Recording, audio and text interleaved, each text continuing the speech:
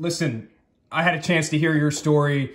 Obviously, you know what the guys are doing over at Jimmy's Famous Seafood. The older you get in life, you realize how hard it is to find genuine people who care about others. These people that are running this right now and this fund, that is all they want to do is help people out. It is heartwarming to say the least.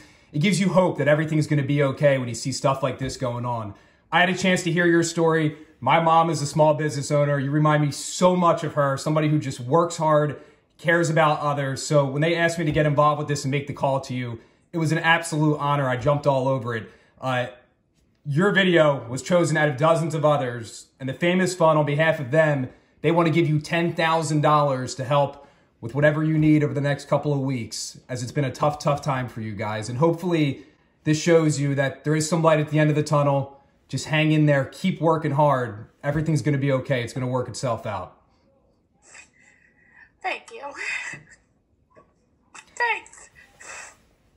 I'm sorry. You're going to make me cry. hey, you deserve it. You deserve it. Thank you. As hard as you've worked and, and all you do to, to just be kind to people on a daily basis and, and you try to keep as many employees as you can and keep them in the back of your mind, uh, you deserve this. Again, your video was chosen out of dozens of others.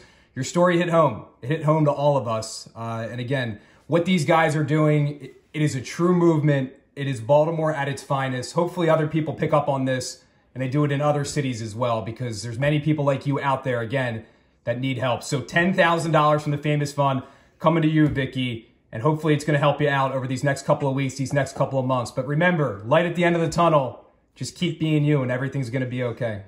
Thank you so much. Of course. Thank them.